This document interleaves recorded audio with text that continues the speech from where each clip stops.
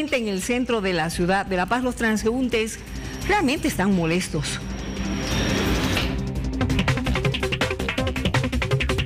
Queremos que esté presente el alcalde en esta negociación.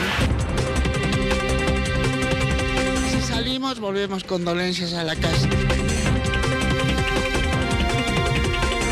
Segundo día de bloqueo en el centro paseño por parte de los trabajadores municipales. ¿Cuál fue la afectación a todos los ciudadanos en este día? Simplemente que arreglen con las autoridades y no perjudicar a los, a los transeúntes, ¿no? porque hay mucha gente que tiene que caminar largas distancias y un poco de consideración con la población. Terrible, tuve que trasladarme a pie desde Miraflores.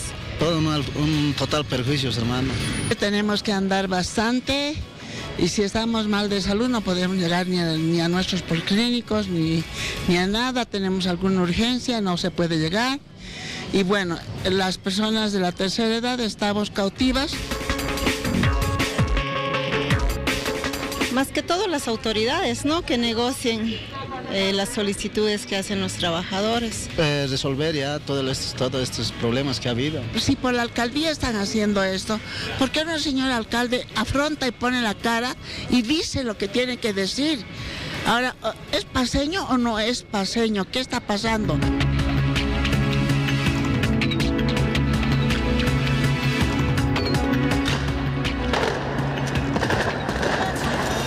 Representantes de los médicos esperan firmar un acuerdo con el presidente de la Cámara de Diputados